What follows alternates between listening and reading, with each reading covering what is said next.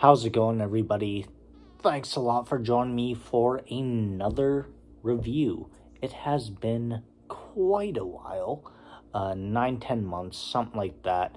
Haven't been drinking much beers lately um, for the last like year-ish.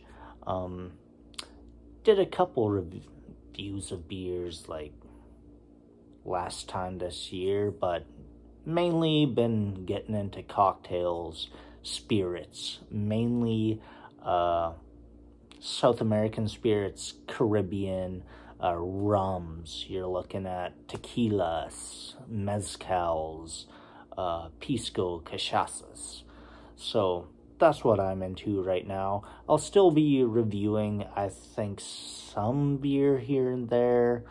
Um, but uh, yeah, mainly spirits that's what I'm into. Maybe some cocktails. Maybe make a few cocktails on the channel. See what you think. But uh, today, what are we looking at?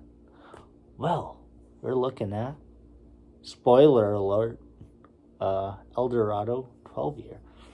Great rum. From Guyana. Guyana? Don't really know the name of the country. I know how it's spelt but it's the only place on earth that can make designated uh, Demerara rums, and gotta say, love a nice Demerara rum. Um, I mean, this bottle's all almost empty as it's one of my main ones, but um, yeah, let's go. As you can see, it pours quite, quite dark for a rum. 12 year rum, it should be pretty dark. Um, as far as I know, it's just made from the Demerara sugars, distilled by them. Um, so no colorings added. Um, it's just a pure, not dark, but aged rum looks beautiful in the glass that I got from Short Path Distillery out there in uh, either Chelsea or Everett, Massachusetts when I visited with my family uh, like five years ago, something like that. But yeah, pretty cool. I'm gonna take an aroma from this guy, uh, this is my empty bottle. I got a fresh bottle here, so I'll take aroma first from the glass and then from the actual bottle. I mean, smells awesome. It is one of my favorite rums, so I'm going into this one biased.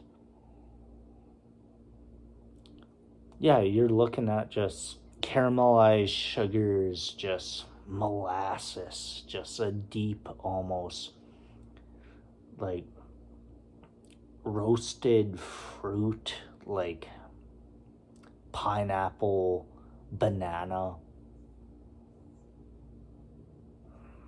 A slight metallic thing which really works. There's a little bit of a bitterness on the aroma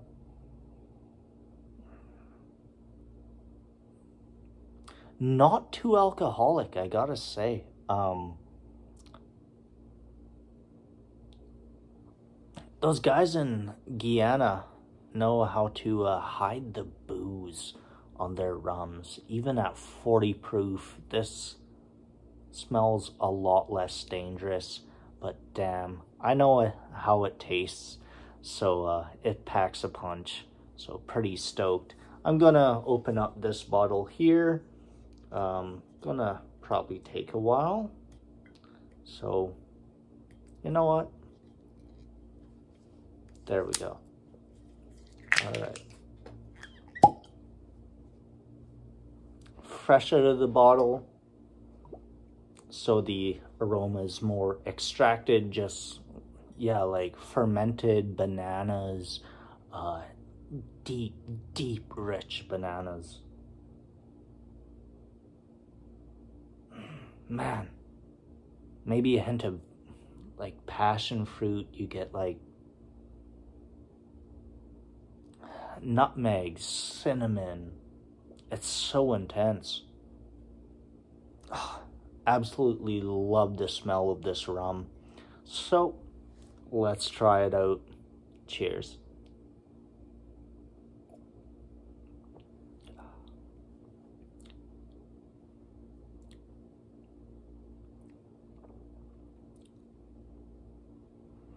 So damn smooth.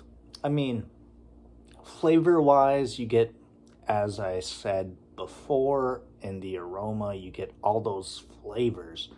But the booze, nothing. There's no burn except when it goes down to the belly, you know? And that's when you got a good rum. I mean, this in a Mai Tai? Shit. Um,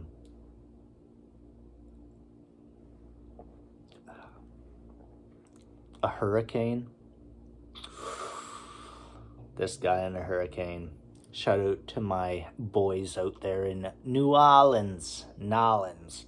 Um, hurricanes go so well with a nice, deep, aged Demerara rum. It's one of my favorite rums, I gotta be honest. I've had a few at this point, and as far as Demerara goes, I like the old school El Dorado, man. It it's cool. It's sweet.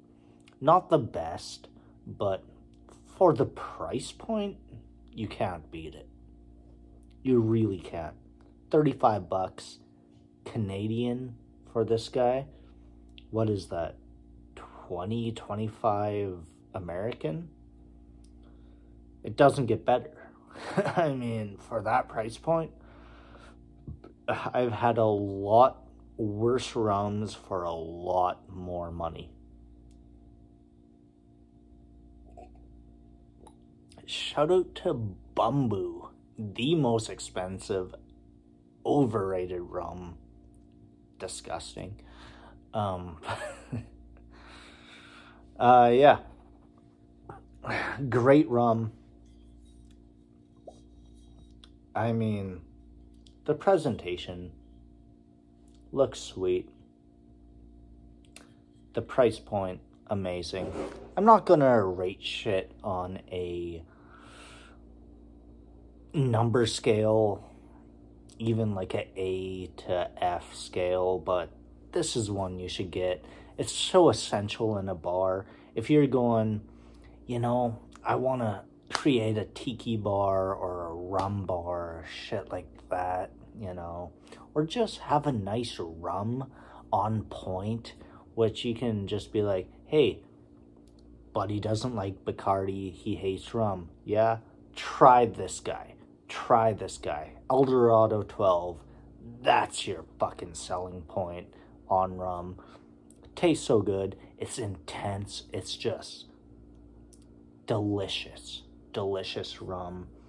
It's got so much complexity. It's got all the spices, allspice, fucking cinnamon, nutmeg, all those things, but with that banana, that slight funk, but a nice caramel sweetness. It's a very or approachable rum. I was gonna say reproachable, no, but in a approachable rum for an approachable price and it should belong in any bar really um so this is why i buy one bottle all the time. Like once i run out i'm like what demerara rum should i get? For my bar this guy. Every time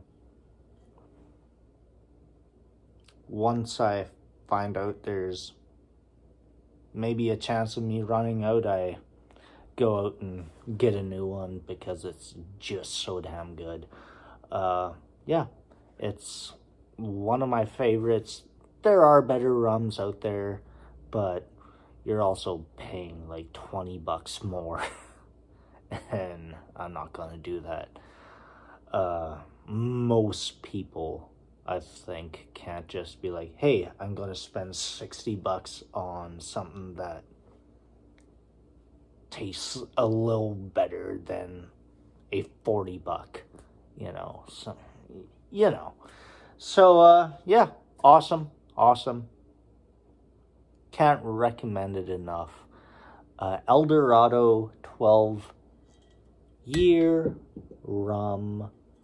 Comes with a sweet cork. There we go. I always like a cork. It's just me. So yeah, um, thanks for watching till the end. If you do, like and subscribe. I don't really view comments more than like once every three months, so hey, write some mean shit. I don't care. Hate a bunch. Whatever. I won't see it for a few months, so. and really, I don't give a fuck. So, uh, there we go. Eldorado